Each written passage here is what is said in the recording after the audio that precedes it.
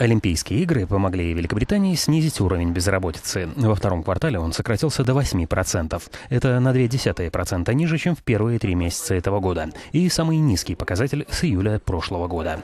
Недавно завершившаяся Олимпиада позволила создать дополнительные рабочие места в британской экономике. Число новых рабочих мест с полной занятостью, созданных с апреля по июнь, составило 130 тысяч, а количество британцев, получивших работу на неполный рабочий день, выросло на 16 тысяч и достигло рекордного показателя в миллион 420 тысяч человек. Впрочем, это означает, что восстановление на рынке труда остается неустойчивым.